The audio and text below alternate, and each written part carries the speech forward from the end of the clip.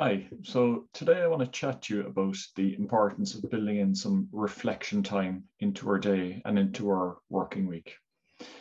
Building in a reflection time, it's a good discipline to get into and it's a really good habit to develop. I'm sure you're all familiar with the, the classic phrase from Abraham Lincoln where he said, if I have eight hours to chop down a tree, I'll spend six hours sharpening the axe. And there's a great lesson to be taken from that because if we just jump headlong into stuff and we start sprinting and we start going at a pace, we could be putting in a great effort. And that's all very commendable. But if we're going down the wrong road and we're doing it in an inefficient way, it's not the best way of doing it. So when I do work with people in business and in some of my own personal coaching as well, uh, and I would have mentioned this in previous blogs, we do a lot of work around time management and looking at how people are spending their time.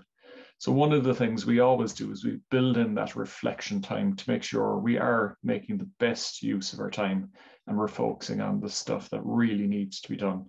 So if you remember from the, the, the last post when we mentioned about the, the time matrix, essentially what reflection time does is it gets you into that quadrant of the not urgent but important work. And that's really, really the key area we need to be spending most of our time. That's where we're planning, we're getting ahead of things and we're being strategic so that then if something is urgent and important, we do it. But ultimately, what we're doing is we're working in a very coordinated way. And if you look at all of the best athletes in the world, one of the key things they do is they build in reflection time and recovery time as part of their routine. And it's important we do that as well as business people and in our personal lives.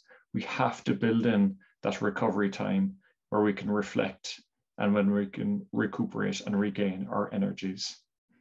So I hope you found that helpful.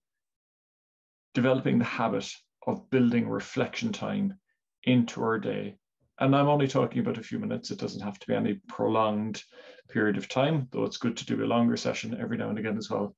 But it can be really the difference between us going down the right road at pace versus sprinting down the wrong road and having to reverse back up it and realize we've actually lost some time.